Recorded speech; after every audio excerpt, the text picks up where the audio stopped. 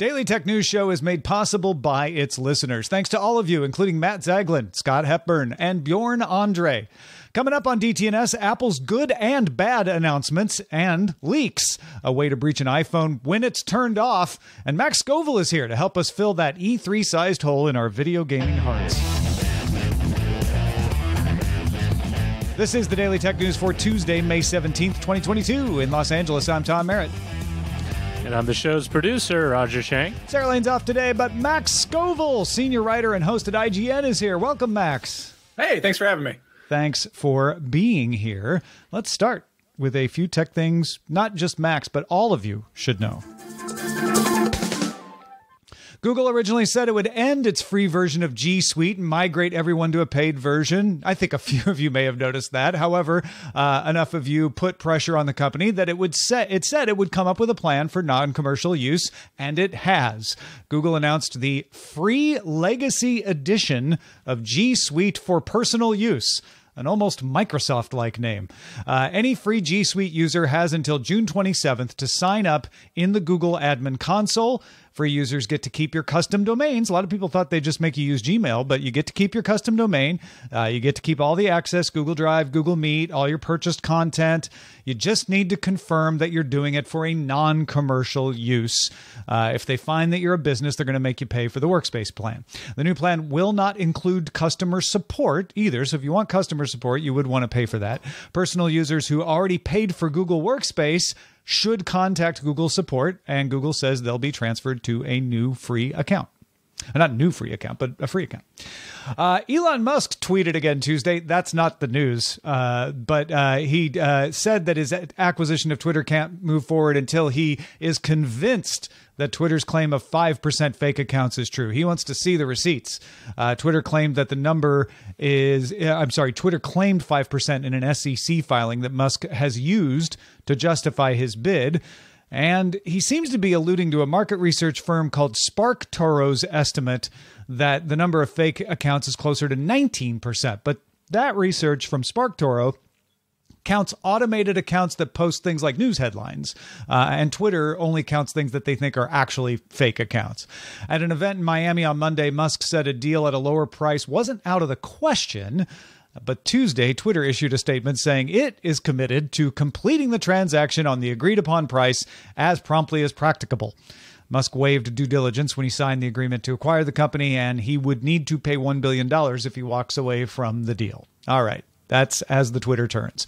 Uh, John Deere is acquiring an algorithm package from artificial intelligence startup Light to further its development of fully autonomous farming. The company tells the Next Web that the acquisition will not only accelerate the development and deployment of the company's AI, but allow the equipment to literally move faster, safer, without human intervention. People in the U.S. are changing their mind about tech regulation. This kind of goes against expectations here. Pew Research Center found that 44% of people in the U.S. think tech companies should face more regulation, but that is down from 56% when they asked the same question a year ago. The number who said tech companies should face less regulation also rose from 10% a year ago to 20% this year. The drop came no matter what political ideology the respondents identified with. And Asus announced the ROG Flow X16 2 in 1 gaming laptop. It has a mini LED 165 hertz screen with peak brightness of 1100 nits, the latest Ryzen 6000 series CPUs, and up to an NVIDIA RTX 3070 Ti. Pricing starts at $1,950. Asus also announced an updated special edition of its ROG Strix SCAR 17 laptop, offering Intel's new HX CPU line up to the i9 12900HX CPU with a 3080 Ti. Pricing starts at $3,500, both expected to ship before the end of June. Will, will you be getting one of those, Max? I, I wish, but also yeah. I don't know. Do I need one? Yeah, well, I'll take one. Right, is where I'm at. If anyone, yeah, if anyone's watching, sure, I'll I'll check it out. Just... I'm not sure I, I, I need to drop on it. It's a nice looking one though. All right, let's round up some of the Apple news today. First, uh, some things that Apple's actually doing. Apple announced new accessibility features coming to its phone, watch, and laptop line. Live captioning is available or is going to be available on any spoken content on your device. Uh, and it will be powered on device, machine language processing on your device, not in the cloud. That will include videos, podcasts, and even FaceTime calls. FaceTime calls will even get a special treatment. Uh, Magnifier's detection mode uh, which already exists, is now going to announce when the phone's camera sees a door. Detection mode can detect certain things, and doors is one of the things they're adding. It'll tell you how far away it thinks it is and if it's open. The sound recognition feature in that is going to include the ability to add custom sounds, not just the pre-made ones, so you can train it on sounds particular to you. A buddy controller lets a person help out another person play a game. Let's say you have uh, a disability that that makes one part of the game hard. You could have a friend kind of help out with that. Watch OS is getting new hand gestures for people who have trouble with some of the smaller existing ones, and the watch is also getting the ability to mirror its screen to an iOS device, so that you can use, say, an iPhone or an iPad uh, to access some of the watch specific features in a more accessible way. Uh, all of these updates will roll out later this year. Max, any of these strike your fancy? That first one, the FaceTime captions, is huge. I have an extremely deaf elderly mother who is not great at technology. She actually tried to get me to uninstall FaceTime from her phone, which you can't really do. You it's kind really of baked do. in Yeah. there. uh, but I convinced her to, you know, to jump on a call with her granddaughter, and I had to repeat myself a great deal. So if we could get closed captions for that, that's huge. Yeah. Plus, No, it'll probably translate baby talk into complete gibberish, which will be funny. Actually, I cannot wait to use that with my nieces now that I think about it. Yeah, that's a, that's a good one. Uh, next, uh, there are some good uh, news for developers, maybe not as much good news for us users. Apple is rolling out new App Store rules that will let any developer increase the price of an auto renewing subscription without requiring you to actively confirm it. Uh, up until now, Apple has said if you're going to raise the price, the user will have to confirm that auto renewal for it to happen. It won't automatically renew, in other words, but they're changing that. Uh, you'll still be notified if the price goes up. And developers can't increase your subscription price more than once a year without getting you to confirm it. However, uh, subscription increases more than $5 a month or $50 a year will require you to manually confirm or, or resubscribe. So there's a cap on how much they can raise it as well. I mean, I, I guess you could pick, pitch this, Max, as, as making it easier for you to stay subscribed. Yeah, I guess. I mean, this is one of those ones that it, it's at the end of the day, it's fine print, you know? Yeah. I, I did like that they forced us to confirm it, right? Uh, but but I sort of get where developers are coming from. If like, hey, if it's only five bucks, do I have to do that? Well, I mean, and also for developer side, I mean, if it's I, like even if it's sub five dollars, what if you just need to bump the the price increase because you're trying to catch up with inflation? I mean, I have a couple of bills that sort of do that already, where I just get auto charged, and they'll let me know. Um, like one of them is my uh, uh, uh, uh, my Terminix bill when they go around and spray every month, but like it's gone up like four times in the past six years. And it's like, all right, your new bill's this amount. Yeah, thanks. Well, it, it basically shifts shifts the burden of inaction to the Yes. user, right? and Bec- and oh, go ahead. Because well, because a lot of people will will see the confirmation of the price increase and might even think like, yeah, okay, I'll, I'll pay a couple extra dollars, but not get around to clicking the confirmation button, and then they then they get unsubscribed. I'm trying to remember, does Netflix do that? Like they when they increase the price because Nope. if you have a They they send you a note saying they're increasing the price, but they don't make you reconfirm. yeah. Yeah. Uh, now to things that might happen, uh, but they're based on generally reliable predictors of things. Uh, so, so these are these are based on sources, sort of stuff. But but good track records with both these folks. Analyst Ming Chi Kuo says Apple is testing using a color e-ink screen as an external display on a foldable device. Kuo says the tests are for tablet-like applications, makes sense, uh, and that the e-ink screen would be used as a power efficient way to deliver information when the device is folded. If you've seen the Galaxy Fold or Huawei's foldable or any of those foldables, they all have an LCD screen on the outside. Uh, looks like Apple is trying to figure out how to do that same thing with a color e-ink screen. And we recently talked about e-ink's Gallery 3 tech that has higher resolution and faster refresh times for color e-ink. Uh, still, an Apple foldable probably isn't coming until 2025 at the earliest. Uh, into this, Max? Extremely i think this exact sort of uh, use of it isn't really for me, but I, the prospect of just color e-ink is really exciting. I love. I have a I have a Kindle and I love reading on it because it's not a it's not a screen in a conventional sense. So it's kind of nice to actually recharge and have a break from screen time and reading. But I would love to be able to, you know, throw some comics on there and get them in full full Yeah, color. That'd be kind of Absolutely. cool. Well, and, and and if if Apple does do this, I mean, granted, it's a couple years down the road, but whenever Apple does something, it does tend to popularize it, and it shows up in the other devices too. Yeah, very true. Uh, more near term will be the announcements at WWDC. That's coming up in just about three weeks, June 6th. Bloomberg's Mark Gurman predicts major changes in the iOS, including, quote, new ways of interacting and, quote, some fresh Apple apps. Uh, however, Gurman does not expect the look or the design to change. They haven't changed the design of iOS since uh, I think iOS seven. It- It's been it's been a minute uh, since they went from skeuomorphic to that flat design. That's not changing, but I I I am intrigued about new ways of interacting. I mean, were we talking gesture controls or something like that? I don't know. Eye tracking. That's all I can think of. Eye tracking could be, yeah. Blink once to click on an app. I feel like they always there's always some really cool little thing that's buried in there. It's these like kind of you know half measure iterations where they're like we're you know we're fiddling with it, we're doing stuff in the back end, and then there's like some you know maybe edge case feature that just jumps out at me Yeah. or you or whoever it is. And then and then pops into the the uh, the keynote at WWDC as a as a major innovation. That's Yeah, exactly. yeah. All right. Uh, speaking of iPhones, uh, did you know you can find your iPhone even if the battery is dead? Uh, because when it comes to modern iPhones, uh, that which is dead may never die. Uh, or rather, a little bit of power is always reserved in a low power mode uh, so that the phone, even with the batteries dead, even if you've turned it off uh, manually, can still operate Bluetooth Low Energy, the U1 chip, which is used for, used for Find My, uh, and NFC. Uh, so if you're using your phone as a car key, uh, if your battery was dead, you'd still be able to unlock your car, at least for up to 24 hours after turning off the phone. There is a limit uh, at which all the power goes away, but the little bit of reserve power is still here, even if the phone is off. That's a good feature. I don't think any of us are, are upset about that. And like all good tech features, it's being exploited.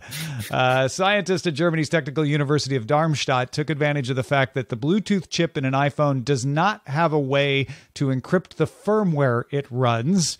This is one of those, maybe you should have thought of it, but none of the rest of us thought of it until these folks figured it out. Uh, the research shows the new functions added in iOS 15 were not documented and also not secured against manipulation. That doesn't sound good but it's not quite as bad as it sounds. An attacker would have to jailbreak your phone. So this is not something that's going to happen easily. Uh, a target would have to be tricked into installing some malware to jailbreak the phone, or maybe it could be used uh, with some surveillance software like Pegasus. So this would have to be a targeted attack. Uh, it's not impossible that an over-the-air exploit could be found. None has been found yet. Uh, that kind of thing has been done on Android, so never say never. So this is a practical attack. It can be done, but it's not one the average user would likely be targeted with. Uh, it would allow malware to run while the phone is off, though. So the idea of like I'm just going to turn my phone off would not protect you from this sophisticated attack, uh, and when your phone was on, malware designed for this attack wouldn't drain the battery, which is sometimes how malware is detected because of its drain on the battery. Uh, the researchers notified Apple of the work. Apple has not yet responded. Uh, on a scale of, of one to screaming max, how much does this worry you? I think initially like a seven, and then after I kind of digest it a little bit, it it dies down. This seems like a very Yeah. very edge case kind of. You know, the chances of this happening are seem pretty low. Still a little bit, you know, a little bit worrisome, but there's so many other things to worry about too. So why not? Yeah, I'm, I'm I'm more fascinated by the research and the fact that they they could figure out how to get a, a turned off iPhone to to be hackable uh, just through Bluetooth. I mean, I also am annoyed that Apple isn't responding and saying, "Yeah, absolutely, we need to we need to block Bluetooth." I understand that it's not a large surface area. There's probably not a large number of people who would be attacked this way, but they should still button it up. Yeah, I mean, it, you can always just take the battery out though. Yeah, uh, you just need you need an iFixit uh, yeah, kit. Just you know, you know. just head on down to the mall, get that Yeah. guy to pry it open, Right, and go in there, guy at avoid the mall warranty. it Yeah, you. yeah, pop that thing out and you're secure. Uh, that's actually as practical as the attack, so that that seems like a, a fair way to to defend it. Roger, does this bother you at all? No, because in most of these cases, I mean, a lot of effort needs to be done in order to do anything productive outside of being an annoyance. And I think it does kind of reinforce the fact that, you know, the, the number one security flaw for a lot of these is is the user, right? Ensuring that you don't install or absentmindedly install malware or you don't, you know, uh, gi- uh, give access inadvertently to your phone uh, through just things like, you know, leaving it unlocked or not having a password, or not having a secure password, because you even if you could uh, remotely activate, like someone who just off the street could remotely activate your your your turned off iPhone, you would still need it to be compromised uh, through the soft uh, through the OS in order to be you know to to really do anything. Yeah. So it's you know it's like it's like giving out your address to your house. It's great, you know where I live, but you know you don't have the key to my house. You don't have you know the combination to to unlock my garage and the rest.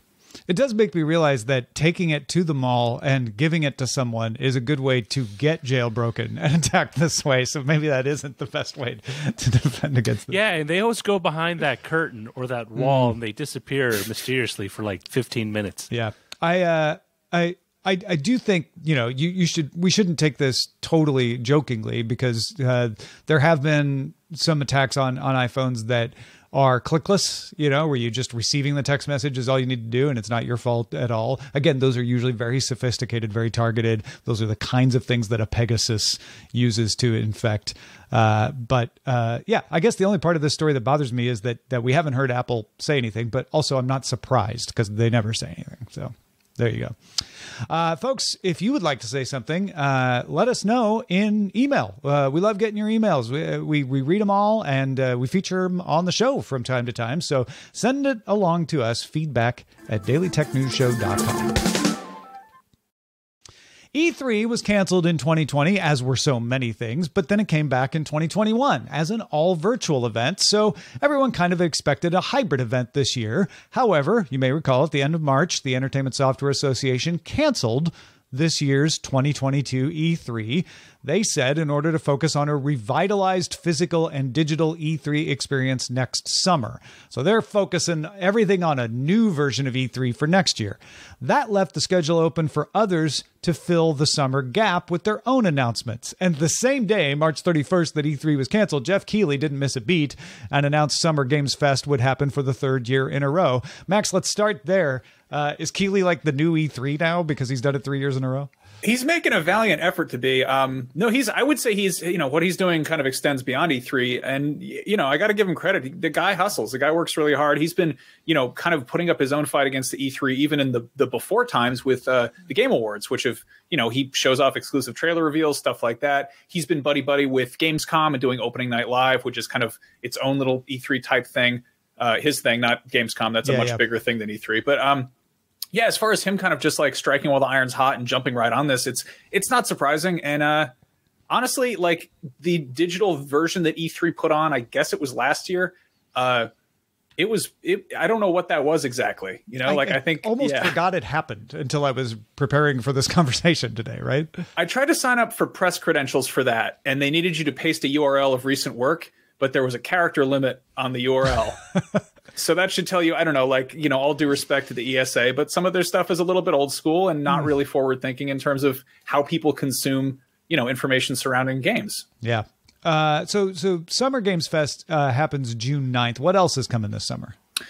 whole bunch of stuff. Obviously, there. I think the the really big one that I'm excited about uh, is uh, the Microsoft one because Microsoft has uh, Pac-Man a bunch of other big publishers. So that's no longer just Microsoft. That is now Microsoft and also Bethesda and maybe Activision question mark. But they're undoubtedly going to have some pretty you know pretty big things to show off right there. Uh, we're also probably going to get ones from Sony and Nintendo, but they are kind of more obscure about all that, and we'll probably announce them a week in advance uh, or something of the sort. But uh, and there's a few other ones. There's a um, big one is uh, THQ Nordic, uh, who's part of the Embracer Group, uh, which is this kind of uh, shadowy Swedish company that's been scooping up lots of other companies, and uh, they just recently uh, got a bunch of Square Enix's bigger IPs. Like they got they got Tomb Raider and they got Oh, um, wow.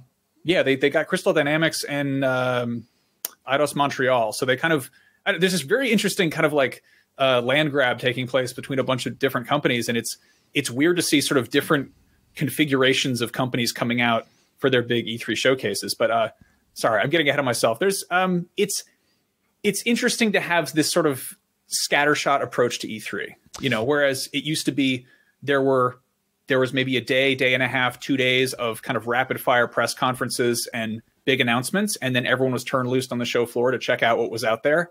And now it's just no one knows when anything's happening exactly. No one's sure what scale it should be or what to expect. But uh, you know, it's it's definitely not. It's it's nothing like what E3 used to be. That's for sure. Yeah. It, it's like E3 used to focus things. Um, bear with me on this analogy. Uh, it's like in, in 4-H, you'd have the 4-H fair, and everything would be in stalls, right? So that that all of the, the exhibits are together. And and it's like it, without E3, it's like they just took the fences away, and everybody's just kind of roaming around. And it's like some of the things are still happen June-ish, but some of like THQ Nordic's happening in August. Do do do you think we end up getting about the same number of announcements as we would anyway, though? I don't. Uh, and here, here's why. I think even before the COVID thing happened, and you know, E3 had to switch to sort of a virtual digital thing, uh, the ESA was was getting kind of weird with it. There, there was a, there were a couple years there where they opened it up as a as a fan event, uh, and also Sony famously pulled out, and Microsoft kind of moved their thing off the show floor and kind of were they were you know occupying the Microsoft theater, uh, and we were seeing these big players kind of pull out of this you know locative experience.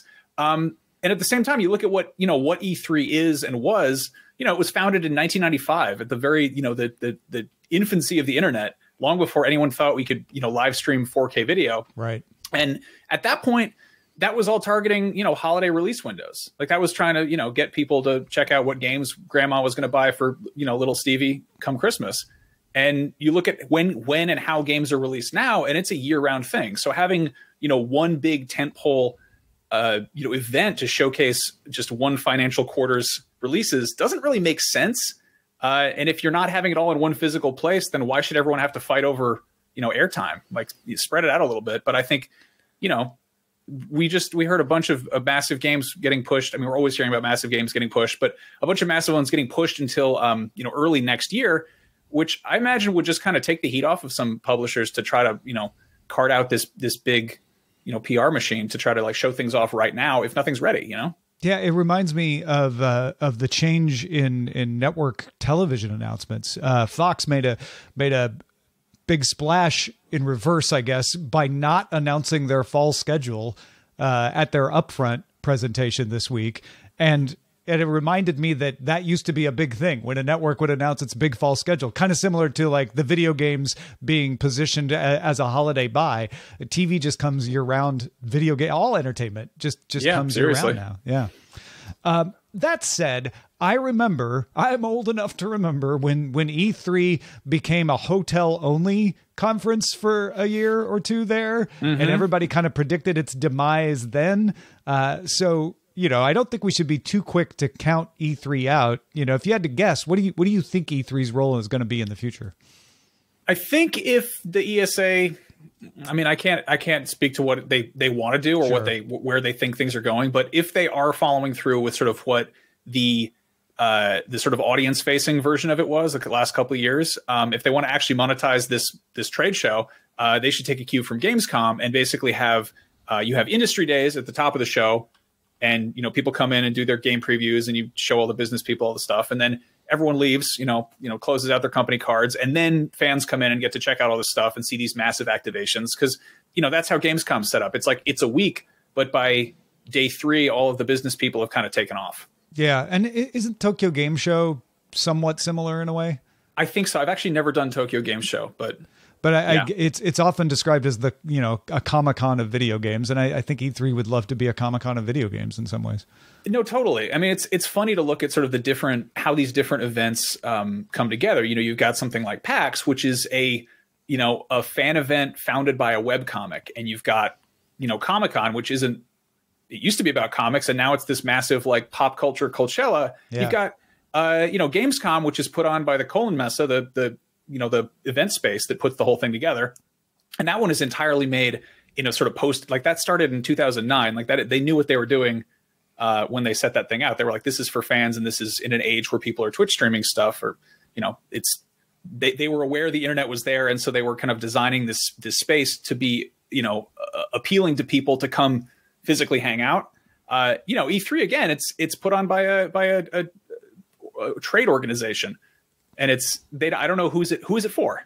Yeah, yeah, uh, and and that that answer for CES, which is also put on by a trade organization, is it's for the companies to work with each other and to get press, uh, and it, that sh- could be the answer for E3, but it doesn't seem like that has ever really meshed as well in that particular industry. I mean, it's a, it's an interesting thing because like if you're showing off the new uh, rotating LG flat screen 8K TV, it's kind of impressive if you see it in person. Yeah. But if you're showing off a new video game that runs on Nintendo Switch at 720p, you could throw it on Twitch and you know you can get people to to see it. I mean, again, video games are better if you get a chance to actually play them yourself. But Yeah. so much of E3 was you know behind closed doors, hands off demos, or just somebody showing you what the game looked like without that you would be the yourself. thing is is make E3 an online conference that participants can play games over the internet on. that's i mean we're getting there Yeah. like streaming Awesome. gaming is doable that's that's a nice way to be like hey if you want this uh to actually physically be yours on your console buy the physical thing but here's a, a streaming demo Uh, well, as uh, I know this is a little cliche, but we're going to transition from video games to cement. Uh, Tech in Asia reports that scientists at Nanyang Technological University Singapore, or NTU Singapore, have developed a new cement that uses industrial carbide sludge and mammal urine. Just going to let that, well, I don't, I don't want to say sink in. Uh, biocement uses bacteria to harden soil into a solid block. So biocement already exists. This is a particular kind of biocement that requires less energy and generates lower carbon emissions than traditional cement production. This form of biocement also reduces waste disposal because you're making it with the waste. So you no longer have to dispose of it because you're using it to make the cement.